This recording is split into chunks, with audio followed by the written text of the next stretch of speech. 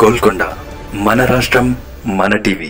Please subscribe Golconda TV. For more updates bell button pi click చేయండి.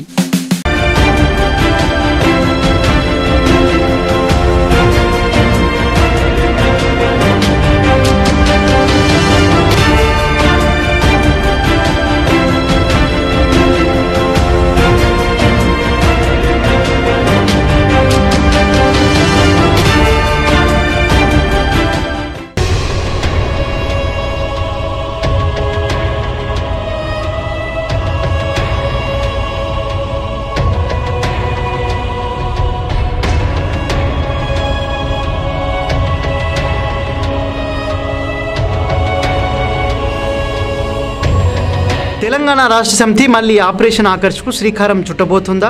ఇప్పటికే ఇద్దరు స్వతంత్రులను కలుపుకున్న టీఆర్ఎస్ ఇక టీడీపీ కాంగ్రెస్లను టార్గెట్ చేసిందా? తెలంగాణలో ప్రతిపక్షం అనేది ఉండకూడదు అనే ఆలోచన టీఆర్ఎస్ మధ్యలో మెదులుతుందా? అందుకే మంత్రి వర్గ కూర్పునకు ఆలస్యానికి అసలు కారణం అదేనా? అంటే అవుననే వార్తలు వెలువడుతున్నాయి. తెలంగాణ రాష్ట్రంలో ముందస్తు ఎన్నికలకు వెళ్ళి మళ్ళీ రెండవసారి అధికారంలోకి వచ్చిన టీఆర్ఎస్ పార్టీ తమకు ఎదురు లేకుండా ఉండేందుకు పావులు కదుపుతుంది. ఎన్నికలో ప్రధాన ప్రతిపక్షమైన కాంగ్రెస్ తమపై చేసిన ఆరోపణలకు బదులు తీర్చుకునేందుకు రెడీ అవుతుంది. అందులో భాగంగానే ఆపరేషన్ ఆకర్షణ మళ్ళీ తెరపైకి తీసుకువచ్చిందని తెలుస్తుంది. రెండు వేల పద్నాలుగులో అరవై మూడు సీట్లతో అధికారంలోకి వచ్చిన టీఆర్ఎస్ ఆ తర్వాత కాంగ్రెస్ టీడీపీ నేతలను ఆపరేషన్ ఆకర్ష్ పేరుతో పార్టీలో చేర్చుకుంది. టీడీపీలో ఇద్దరు ఎమ్మెల్యేలను మాత్రమే విడిచిపెట్టి మిగిలిన వారిని తమ వైపుకు లాగేసింది.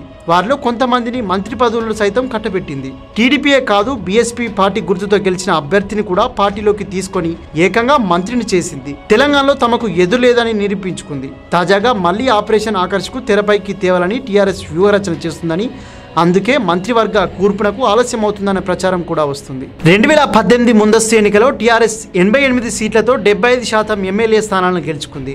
రెండోసారి అధికారంలోకి వచ్చింది. అయితే టీఆర్ఎస్ గెలిచిన తర్వాత మరో ఇద్దరు స్వతంత్ర అభ్యర్థులు టీఆర్ఎస్ తీర్థం పుచ్చుకోవడంతో ఎనభై ఎనిమిది కాస్త తొంభైకి చేరుకుంది. ఇకపోతే ప్రస్తుతం ప్రజాకూటమి చేతిలో ఇరవై ఒక్క మంది ఎమ్మెల్యేలు మాత్రమే ఉన్నారు. వారిలో కాంగ్రెస్ పార్టీకి చెందిన పంతొమ్మిది మంది ఎమ్మెల్యేలు ఉండగా ఇద్దరు టీడీపీ ఎమ్మెల్యేలు ఉన్నారు.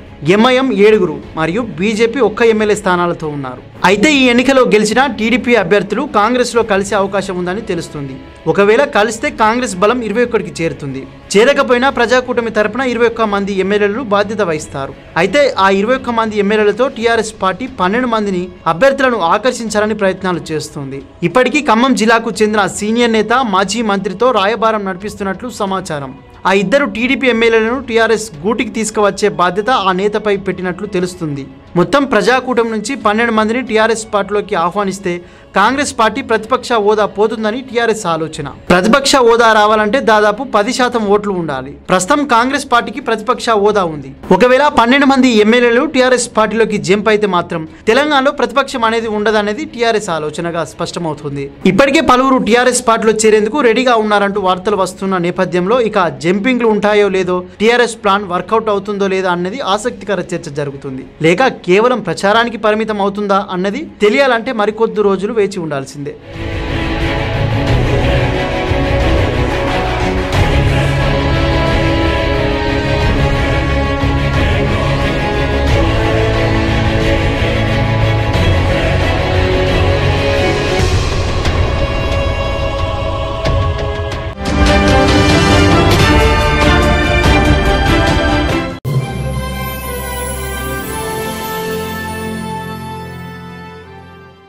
ప్రోగ్రామ్స్ మీకు నచ్చినట్లయితే మా గోల్కొండ ఛానల్ను సబ్స్క్రైబ్ చేయండి. పక్కనే ఉన్న బెల్ బటన్ను నొక్కండి.